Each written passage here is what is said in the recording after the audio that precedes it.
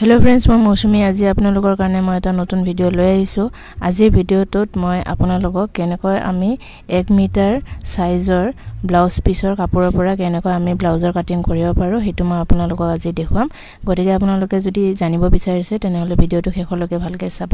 আৰু ভিডিঅ'টো চাই আপোনালোকৰ যদি ভাল লাগে তেনেহ'লে লাইক আৰু কমেণ্টছ নিশ্চয় কৰি দিব। চেনেল যদি ছাবস্ক্ৰাইব কৰা নাই কৰি ল'ব। আৰু চেনেল ছাবস্ক্ৰাইব কৰোঁতে কাষৰ যিটো এটা বেল আইকন থাকে সেইটো আপোনালোকে প্ৰেছ কৰি দিব। চ' ফ্ৰেণ্ডছ এতিয়া দেৰি নকৰি ভিডিঅ'টোলৈ আগবাঢ়ি যাওঁ ফ্ৰেণ্ডছ এইখন হৈছে মোৰ ব্লাউজ পিচটো আৰু ইয়াতে মই আপোনালোকক আজি দেখুৱাম কেনেকৈ আমি কাটিংটো কৰিব লাগে ব্লাউজ পিচৰ চ' এতিয়া এইটো হৈছে আমাৰ পতি থকা ডিজাইনটো গতিকে ইয়াতে মোৰ পতি নাই জাষ্ট পাইপিঙৰ ডিজাইন এটা চিম্পুল দিয়া আছে। আৰু এই মেখেলা চাদৰটো একেবাৰে চিম্পুল হয়। সেইটোৰ কাৰণে মই ইয়াতে দেখুৱাই দিছোঁ আপোনালোকক। আৰু এইটো এক মিটাৰ আছে সেইটোৰ কাৰণে মই ইয়াতে দেখুৱাই দিছোঁ। এতিয়া চাওক ফ্ৰেণ্ডছ মই আপোনালোকক জুখি দেখুৱাম। আৰু জুখিবৰ কাৰণে প্ৰথমতে আপোনালোকে কাপোৰটো এইটো মানে যিটো আমাৰ দৈৰ্ঘ্য সেইটো আগত জুখি ল'ম মই। প্ৰথমতে মই দীঘলকৈ কাপোৰটো জুখি ল'ম। গতিকে ইয়াৰ যিটো লেন্থ হয় সেইটো মই আপোনালোকক জুখি দেখুৱাই আছোঁ। কিমান আছে?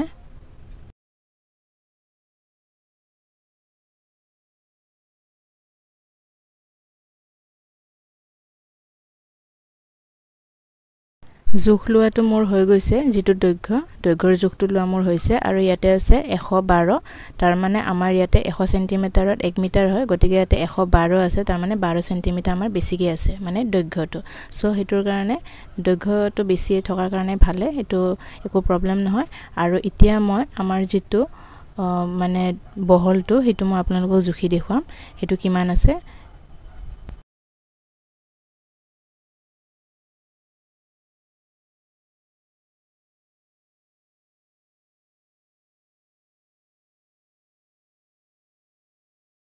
এতিয়া চাওক বহলটো ওলাইছে আমাৰ ছেভেণ্টি ছেভেন চেণ্টিমিটাৰ গতিকে এইটো অকণমান কম আছে এক মিটাৰতকৈ বহলটো। গতিকে একো নাই আমাৰ যিটো মানে দৈৰ্ঘ্য সেইটো বেছি থাকিব লাগে। গতিকে সেই হিচাপে আমাৰ ঠিকে আছে এইটো এক মিটাৰতে ধৰা হ'ব। এতিয়া মই আপোনালোকক দেখুৱাই আছোঁ। এতিয়া চাওক ফ্ৰেণ্ডছ এই যিটো মোৰ ব্লাউজ পিচ আছিলে এই ব্লাউজ পিচটো মই ভালকৈ পাৰি লৈছোঁ। আৰু আপোনালোকে এনেকৈ ভালকৈ পাৰি ল'ব ব্লাউজ পিচটো এতিয়া আমাৰ ব্লাউজ পিচৰ কাটিং কৰিবৰ কাৰণে যিটো আমাৰ আচল কামটো সেইটো আমাৰ এতিয়া আৰম্ভ হ'ব। সেইটো মই এতিয়া আপোনালোকক দেখুৱাম। কেনেকৈ আমি ব্লাউজ পিচৰ পৰা ব্লাউজৰ কাটিং কৰিব পাৰোঁ ঠিক আছে? চ' আপোনালোকে চাই থাকিব। এই যিটো ব্লাউজ পিচটো আছে সেইটো মই আপোনালোকক ওপৰৰ পৰা দেখুৱাই আছোঁ মই কেনেকুৱাকৈ ৰাখিছোঁ ঠিক আছে? আপোনালোকক সেই পদ্ধতিতে আপোনালোকে ৰাখিব লাগিব। এতিয়া চাওক ফ্ৰেণ্ডছ ওপৰৰ পৰা মই দেখুৱাই দিছোঁ আপোনালোকক। এই যিটো পতি থকা অংকটো অংশটো আছে এইটো চাওক। ইয়াতে মানে মোৰ চিম্পুল আছে আপোনালোকৰ কাৰোবাৰ কাৰোবাৰ ডিজাইনো থাকিব পাৰে। চ' সেইটো আপোনালোকে নিজৰ মতে চাই ল'ব চাই লৈ আপোনালোকে নিজৰ বিপৰীত ফালে মানে আপোনালোকে যোনফালে বহিব তাৰে বিপৰীত ফালে আপোনালোকে এই যিটো ডিজাইন থকা অংশটো আপোনালোকে সেইটো পাৰে ৰাখিব লাগিব। ঠিক আছে? বুজি পাইছেনে আপোনালোকে? এইটো আপোনালোকে অপজিট ছাইডত ৰাখিব। আপোনালোকে যোনফালে বহিব তাৰে বিপৰীত ছাইডত সেইটো পাৰি ল'ব। তাৰপিছত আপোনালোকে যিটো দৈৰ্ঘ্য মানে কাপোৰটোৰ সেইটো চাওক এই দৈৰ্ঘ্যটো আপোনালোকে নিজৰ ফালে মানে ৰাখ ৰাখিব লাগিব এনেকুৱাকৈ ঠিক আছে? এনেধৰণে মই যেনেকুৱাকৈ ৰাখিছোঁ আপোনালোকে এনেকুৱাকৈ ৰাখি ল'ব লাগিব। এইটো হৈছে বহলটো আৰু দীঘলটো চিধাকৈ। চিধাকৈ ৰাখি এইটো চাওক ফ্ৰেণ্ডছ এইটো হৈছে থাৰ্টি টু চাইজৰ ব্লাউজৰ কাটিং কৰা লাইলিনৰ টুকুৰাবোৰ আৰু ইয়াতে মই পাৰ্ট পাৰ্ট কৰি কাটি লৈছোঁ। এইটো হৈছে বেল্টটো আৰু এইটো হৈছে হাত আৰু চেষ্টৰ মাজত থকা অংশটো। এইটো হৈছে দীঘল হাত দুয়োখন আছে ইয়াতে। আৰু এইটো যিটো দেখিছে আপোনালোকে এইটো হৈছে আমাৰ পিছফালৰ যিটো পিঠি সেইটো অংশটো হয়। চ' এতিয়া ফ্ৰেণ্ডছ আপোনালোকে যেতিয়া ব্লাউজৰ কাটিং কৰিব সদায় আপোনালোকে লাইলিন কাপোৰত কৰিব। যদি লাইলিন কাপোৰত আপোনালোকৰ অসুবিধা হয় তেনেহ'লে আপোনালোকে পেপাৰত আগলৈ আগতে কাটিংটো কৰি ল'ব পাৰিব ঠিক আছে? চ' যিসকলৰ অসুবিধা হয় আপোনালোকে পেপাৰত কাটি ল'ব তাৰপিছত লাইলিন কাপোৰত কাটিব। এতিয়া মই আপোনালোকক ব্লাউজ পিছত কেনেকৈ ব্লাউজৰ কাটিং কৰা হয় সেইটো এতিয়া মই আপোনালোকক দেখুৱাম। তাৰে কাৰণে প্ৰথমতে আপোনালোকক মই বেক চাইডটো কাটি কেনে দেখুৱাই আছোঁ ব্লাউজ পিছত। চ' ফ্ৰেণ্ডছ এতিয়া এইটো চাওক এই যিহেতু এইটো ব্লাউজ পিচ চ' সেইটো এতিয়া মই মেলি থৈ দিছিলোঁ। চ' এতিয়া মই এইটো ফল্ড কৰি দিম এনেধৰণে। আৰু আপোনালোকে এই যিটো মই ফল্ড কৰিছোঁ এইটো যিটো বেক চাইডৰ কাটিংটো কৰিব সেইটোৰ সমানকৈ আপোনালোকে ফল্ড কৰিব লাগিব। ঠিক আছে? সেইটো মই দেখুৱাম আপোনালোকক এতিয়া কেনেকৈ মিলাব লাগে। এইটো চাওক। এইটো চাওক যিটো ফল্ড আছে সেনেকুৱাকৈ আপোনালোকে ৰাখিব। আৰু বেক চাইডৰ যিটো ফল্ড অংশটো সেইটো পিছ মানে কাপোৰত যিটো ফল্ড কৰিছে সেইটোৰ লগত মিলাই দিব। ঠিক আছে? তাৰপিছত আপোনালোকে কাটিংটো কৰিব লাগিব। কিন্তু কাটিংটো কৰিবৰ কাৰণে আপোনালোকে হাফ ইঞ্চি দূৰত্ব ৰাখি কাটিংটো কৰিব লাগিব। তাৰে কাৰণে মই আপোনালোকক দেখুৱাই দিছোঁ মানে ছাইডত মাৰ্জিনবোৰ টানি টানি হাতেৰে। এইটো চাওক এনেকুৱাকৈ আপোনালোকে মানে হাফ ইঞ্চি দূৰত্বত আপোনালোকে মাৰ্কিং কৰি ল'ব আৰু তাৰপিছত আপোনালোকে মাৰ্কিংটোৰ পোনে পোনে কাটিংটো কৰিব লাগিব। ডাইৰেক্টলি যদি আপোনালোকে কাটিব যায় কিছুমানৰ বেকাতেৰাও হ'ব পাৰে চ' সেইটোৰ কাৰণে মই ইয়াতে মাৰ্কিং কৰি দেখুৱাইছোঁ। আৰু এতিয়া এই যিটো মাৰ্কিং কৰিছোঁ এই মাৰ্কিংটোৰ পোনে পোনে এতিয়া কাটিংটো কৰিব লাগিব। এইটো মই এতিয়া কাটিংটো কৰি আপোনালোকক দেখুৱাই আছোঁ।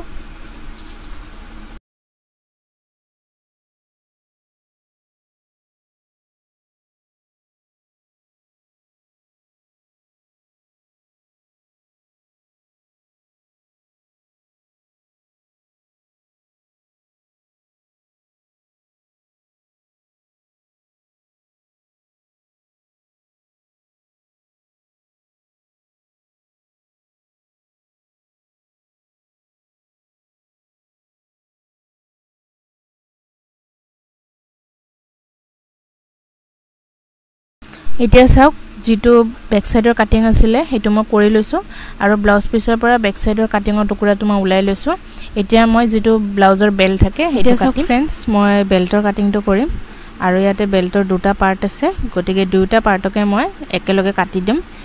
বেলেগ বেলেগে নাকাটো কাৰণ কাপোৰটো ডাবল ফল্ড হৈ আছে।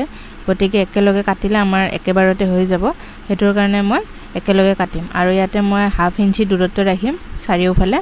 গতিকে এনেকুৱাকৈ আপোনালোকে মাৰ্কিং কৰি ল'ব পাৰে। আৰু যিসকলে মানে কাটিঙত ভাল তেওঁলোকে মাৰ্কিং নকৰিলেও হ'ব ডাইৰেক্ট কাটিব পাৰে। মই জাষ্ট আপোনালোকক দেখাই দিছোঁ কেনেকুৱাকৈ মাৰ্কিং কৰি কাটিংটো কৰিব লাগে। চ' সেইমতে আপোনালোকে কাটিংটো কৰি ল'ব ঠিক আছে? এইটো চাওক ফ্ৰেণ্ডছ যিটো বেল্টৰ কাটিং আছিলে সেইটো মই কৰি লৈছোঁ। আৰু ইয়াতে দুটা পাৰ্ট ওলাইছে আমাৰ যিহেতু কাপোৰটো ডাবল ফল্ড হৈ আছিলে। সেইকাৰণে আমাৰ বেল্টৰ দুটা পাৰ্ট আমাৰ ওলাইছে। আৰু এইটো চাওক এইটো দুটা পাৰ্ট ওলাইছে এইটো আপোনালোকে মাজেদি কাটি ল'ব ঠিক আছে? ইয়াতে মই মানে ফল্ড হৈ আছিলেতো সেইকাৰণে মানে কাপোৰটো এনেকুৱাই থাকিল। এইটো গতিকে এতিয়া মই মানে মাজত কাটি লৈ দুটা পাৰ্ট কৰি ল'ম। এইটো চাওক আমাৰ হৈ গৈছে দুটা বেল্ট আমাৰ ওলাই গ'ল। চ' একেলগে হৈ গ'ল সহজ হয় এনেকুৱাকৈ কাটিলে। চ' এনেকুৱাকৈ আপোনালোকে কাটি ল'ব। বেল্টৰ কাটিংটো যিহেতু আমাৰ হৈ গৈছে এতিয়া আমি চেষ্টৰ প্লেটৰ কাটিংটো কৰিম। আৰু এই যিটো চেষ্টৰ প্লেট এইটো আপোনালোকে বেলেগ ধৰণে জুখি লৈ কাটিব লাগিব। মানে যেতিয়া আপোনালোকে ব্লাউজৰ কাটিং কৰিব তেতিয়া এটা প্লেট পোৱা যায়। সেইটো প্লেটটো কিন্তু নহয়। আপোনালোকে আকৌ বেলেগকৈ জুখি লৈ কাটিব লাগিব। তাৰে কাৰণে মই এই ভিডিঅ'টো দিছোঁ আপোনালোকে চাই ল'ব তাতে। ঠিক আছে? আৰু মানে বহুতৰে খেলি মেলি লাগে সেইটোৰ কাৰণে মই আপোনালোকক কৈ দিছোঁ। চ' এনেকুৱাকৈ আপোনালোকে যিখিনি কাপোৰ ৰৈ গৈছে তলৰ ফালে তাতে আপোনালোকে আপোনালোকে এনেকুৱা মিলাই ল'ব ধুনীয়াকৈ। মুঠতে আপোনালোকে এক মিটাৰ কাপোৰটোতে গোটেইখিনি বস্তু আপোনালোকে মিলাই ল'ব লাগিব। নহ'লে কিন্তু আপোনালোকে কাপোৰবোৰ মেনেজ কৰিব নোৱাৰিব। গতিকে আপোনালোকে এনেধৰণে চাৰিওফালে কাপোৰবিলাক ভালকৈ মিলাই ল'ব। কোনফালে কেনেকুৱাকৈ কি কাটিলে আপোনালোকে মিলাব পাৰিব সেইমতে আপোনালোকে প্ৰত্যেকটো ব্লাউজৰ প্ৰত্যেকটো অংশই আপোনালোকে জুখি জুখি কাটিব লাগিব। ঠিক আছে? আৰু ফ্ৰেণ্ডছ আৰু এটা কথা ইয়াতে মই থাৰ্টি টু চাইজৰ কাৰণে দিছোঁ। আপোনালোকক যদি বেলেগ চাইজৰ কাৰণে লাগে ব্লাউজ কাটিং তেনেহ'লে আপোনালোকে মই স্ক্ৰীণত দি দিছোঁ। আপোনালোকে এই ভিডিঅ'কেইটা চালে গম পাই যাব। ঠিক আছে? চ' ইয়াতে আপোনালোকে পাই যাব বেলেগ বেলেগ চাইজবোৰ চ' এই ভিডিঅ'কেইটা আপোনালোকে চাব পাৰিব যদি আপোনালোকক বেলেগ চাইজৰ প্লেটৰ কাটিংটো এইটো চাওক মোৰ হৈ গৈছে। আৰু ইয়াতে দুটা প্লেট ওলাই গৈছে। একেলগতে মই কাটিছোঁ যিহেতু। সেইকাৰণে ইয়াতে দুটা প্লেট ওলাই গৈছে। এতিয়া হৈছে এইটো হাতৰ কাটিংটো এইটো কোৱাৰ্টাৰ হাতৰ কাটিং হয় আৰু ইয়াৰ কাৰণে এটা মই ভিডিঅ' দিছোঁ আপোনালোকে এই ভিডিঅ'টো চাব পাৰিব। ইয়াতে মই কোৱাৰ্টাৰ হাতৰ কাটিংটো দেখুৱাই দিছোঁ। এতিয়া মই হাতৰ কাটিংটো কেনেকুৱা কৰিব লাগে সেইটো আপোনালোকক এতিয়া দেখুৱাই আছোঁ। ফ্ৰেণ্ডছ এইটো চাওক কাপোৰটো মই ডাবল ফল্ড কৰি লৈছোঁ আৰু দীঘলে দীঘলীয়াকৈ আপোনালোকে কাপোৰটো ডাবল ফল্ড কৰি ল'ব। আৰু পতি থকা অংশটো যোনফালে আছে আমাৰ হাতৰ অংশটো সেইফালে ৰাখিব লাগিব। এইটো চাওক কাপোৰটো যিহেতু এইটো ফল্ড হৈ আছে সেইকাৰণে আমি ফল্ডৰ ফালে আমি হাতৰ ফল্ড হোৱা অংশটো আমি ৰাখিম।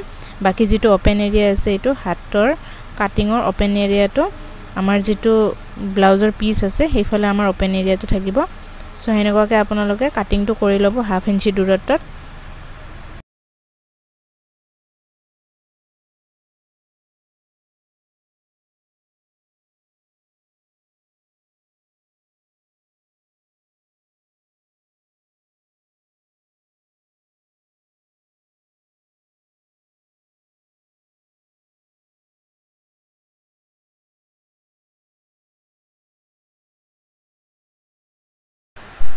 ফ্ৰেণ্ডছ এইটো যিটো হাতৰ কাটিং মোৰ হৈ গৈছে আৰু এইটো মই এটা হাতৰ কাটিংটো আপোনালোকক দেখুৱাই দিছোঁ।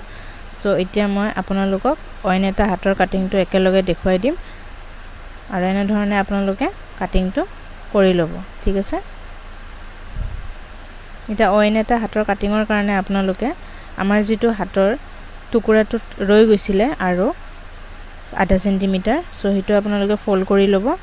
ফ'ল্ড কৰি তাৰপিছত অইন এটা যিটো হাতৰ টুকুৰা আছিলে আমাৰ কাটি লোৱা লাইলিন পিছৰ সেইটো আপোনালোকে লৈ ল'ব লৈ তাৰপিছত লাইলিনৰ যিটো অংশটো ভাজ হৈ আছে সেইটো ব্লাউজ পিছৰ ভাজ হৈ থকা অংশটোৰ লগত মিলাই ল'ব তাৰপিছত অ'পেন এৰিয়াটো অ'পেন এৰিয়াৰ ফালে আপোনালোকে ৰাখিব ঠিক আছে? চ' এতিয়া আপোনালোকে ছাইডৰ কাটিংটো কৰি ল'ব।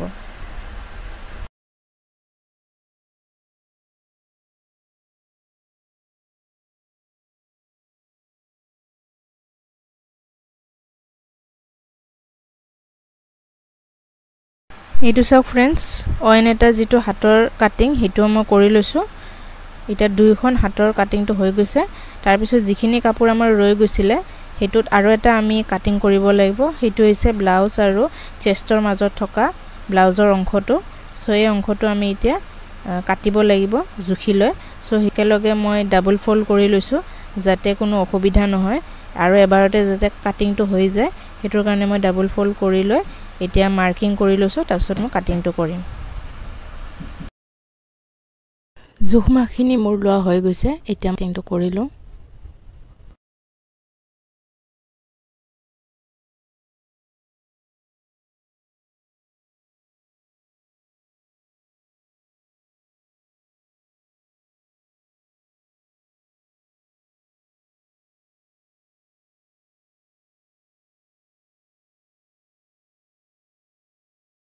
এতিয়া চাওক ফ্ৰেণ্ডছ গোটেইখিনি মই যিটো ফ্ৰণ্ট আৰু বেক চাইডৰ কাটিং আছিলে সেইটো গোটেইকেইটা মই একেলগে আপোনালোকক দেখুৱাই দিছোঁ।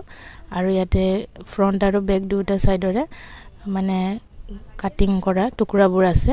আৰু লগতে যিটো ব্লাউজ পিচ সেইটো একেলগে মই ৰাখি থৈ দিছোঁ। আৰু এইটো চাওক ইয়াতে হাতৰ যিটো লাইলিন আৰু ব্লাউজ পিচৰ টুকুৰা সেইটো একেলগে আছে।